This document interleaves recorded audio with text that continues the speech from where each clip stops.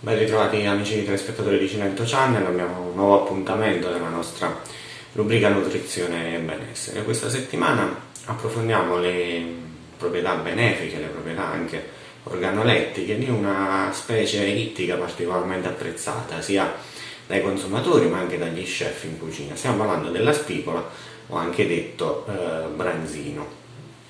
È una, un pesce tipico della zona dell'Oceano Atlantico orientale, ma anche e soprattutto del, eh, del, Mediterraneo. Appartiene alla famiglia dei serranidi, ha un corpo particolarmente affusolato, lungo, con una caratteristica di avere alcune macchie eh, al di sopra e al di sotto della linea, della linea laterale. Eh, può raggiungere eh, circa i 10 kg di, eh, di, peso e anche il metro di, eh, di lunghezza.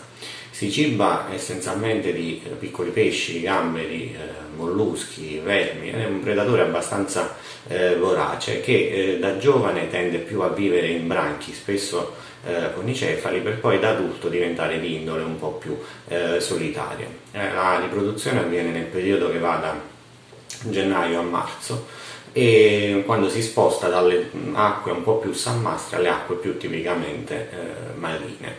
Per quanto riguarda le proprietà nutrizionali possiamo dire che 100 grammi di spigola apportano all'incirca 82 calorie, ehm, contiene un buon apporto di eh, proteine e sali minerali come soprattutto eh, potassio, calcio, fosforo, magnesio, zinco, eh, ferro, ma anche vitamine come le vitamine del gruppo B e la vitamina A. E chiaramente in commercio le possiamo trovare sia selvatiche che eh, eh, di allevamento da un punto di vista nutrizionale mh, mm, quelle eh, selvatiche hanno un minor apporto proteico e anche un minor apporto di, eh, di, grassi. Vediamo adesso invece quali sono le proprietà. Sicuramente contiene la spigola poche, eh, poche, calorie, quindi le possiamo anche considerare delle carni eh, magre che possono essere tranquillamente inserite all'interno di piani eh, alimentari dietetici.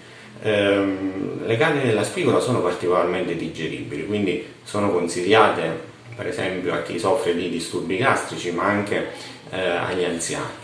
Eh, ha un apporto eh, particolarmente eh, rilevante di omega 3, quindi aiutano tutta la salute dell'apparato eh, cardiovascolare.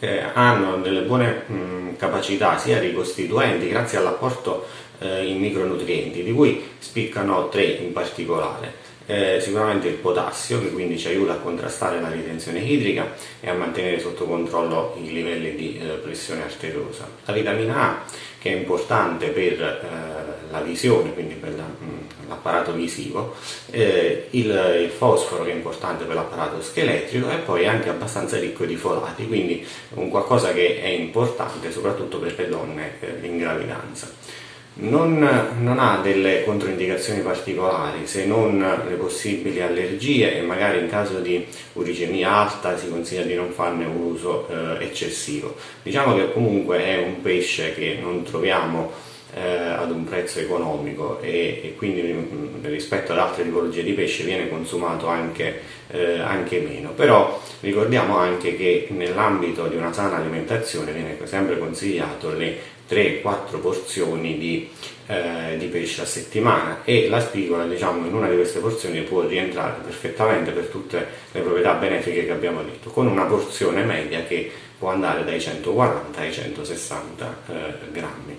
In cucina si presta a tante eh, preparazioni, soprattutto ricordiamo quella al, al forno, alla griglia, ma anche al cartoccio, eh, magari accompagnate con delle salse particolari per esaltarne eh, il sapore. Bene, per altri, per altri, approfondimenti, per altre notizie sulla spigola vi rimando all'articolo che troverete eh, sul sito e sui social di Cilento Channel, così come sulla mia pagina eh, Facebook Studio Nutrizione e Benessere. Vi invito come sempre a scrivere un'email a nutrizionericci.it per chi volesse proporre degli argomenti o fare delle domande su quelli già eh, trattati. E non mi rimane altro che eh, salutarvi, ringraziarvi come sempre per l'attenzione che ponete alla nostra rubrica e eh, arrivederci alla prossima settimana sempre su Cilento Channel. Ciao!